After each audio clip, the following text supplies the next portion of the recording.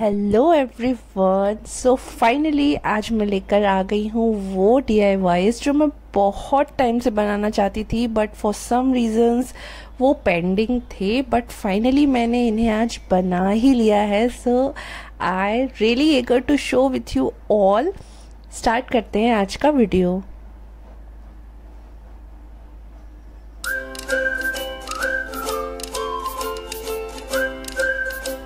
First हम बनाएँगे झरोखा DIY ये बहुत टाइम से मैं बनाना चाहती थी.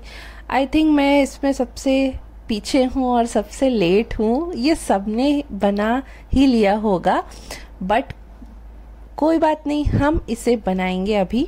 तो इसके लिए मैंने यहाँ पे ले लिया है कार्डबोर्ड और इसे कुछ झरोखे शेप में मैंने ड्रॉ करके क्राफ्ट नाइफ की हेल्प से इसे कट कर लिया है और इसके दो पीसेस कट कर लेंगे. और उन्हें स्टिक कर देंगे ग्लू की हेल्प से और उसके नीचे बेस के लिए भी हम दो कार्डबोर्ड्स को स्टिक करेंगे और थिक बनाएँगे।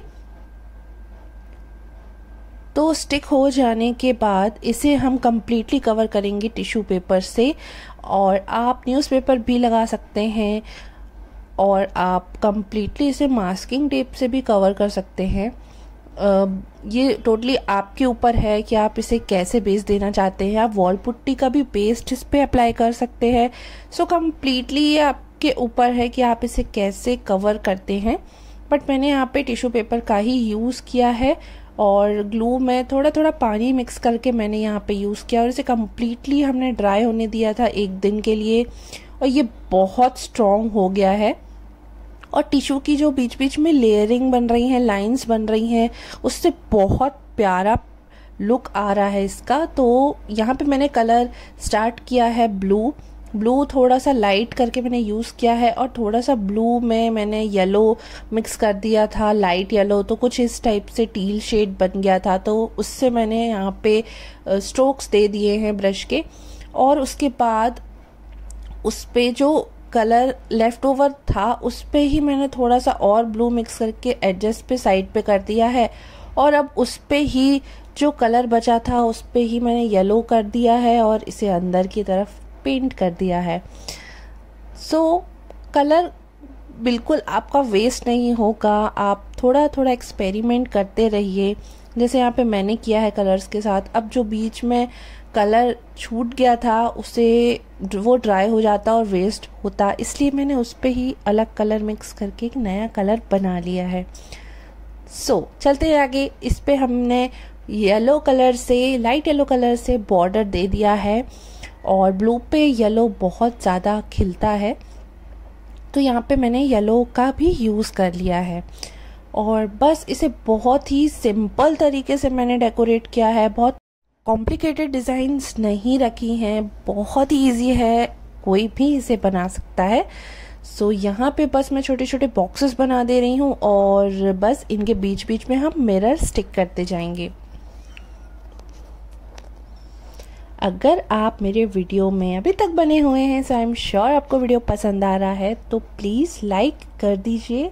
और सब्सक्राइब भी कर लीजिए, जिससे मैं जब भी वीडियोस अपलोड करूँ तो आपको नोटिफिकेशन मिले।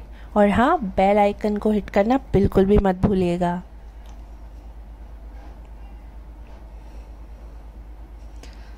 तो यहाँ पे मैं मिरर स्टिक कर दूँगी और छोटे छोटे डॉट्स मैंने किए थे कलर से बट वो क्या हो रहा था कि ब्लू उसके ऊपर फिर भी आ रहा था तो मैंने यहाँ पे थ्री कोड लाइनर की हेल्प से येलो कलर और ऊपर से कर दिया है और बस थोड़े थोड़े डॉट से अपने झरोके को मैं कंप्लीट कर लूँगी। और थोड़ा ब्लू मुझे लग रहा था कि डल है तो मैंने वापस से ब्लू इस पर कर दिया है और रेडी है। हमारा झरोखा डीआईवाई और हाँ इस पर वार्निश अप्लाई करना बिल्कुल भी मत भूलिएगा। मैंने इसे सेकेंड डे वार्निश अप्लाई किया है।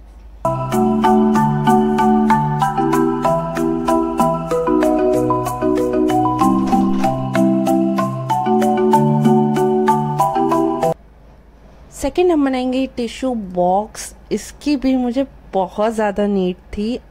एंड चलिए तो इसे बना लेते हैं. सबसे पहले मैंने यहाँ पे एक बॉक्स ले लिया है कार्डबोर्ड का. और बीच से इसे स्क्वायर शेप में मैं कट करके इसे निकाल लूँगी. आप राउंड शेप भी ओवल शेप जो होता है, वैसे भी आप कट कर सकते हैं. इसे भी मैंने टिश्यू से कम्प्लीटली कवर कर दिया है. और उसके बाद जैसो का एक कोट दे दिया है. अब यहाँ पे मैं करूँगी ब्राउन कलर। तो मुझे जो टिश्यू बॉक्स चाहिए था, वो ब्राउन कलर, वुडन लुक वाला ही चाहिए था। तो बस इस पर मैं ब्लैक कलर से कुछ लाइनिंग्स बना दूँगी, जिससे प्रॉपर जो वुडन का टिश्यू बॉक्स होता है, वो वैसा वाला फील आए तो बस मैंने यहाँ पे जो उसमें लाइंस कटी होती हैं, वैसा ही मैंने यहाँ पे बनाने का कुछ ट्राई किया है। तो बस बहुत ही कम देर में रेडी हमारा tissue box.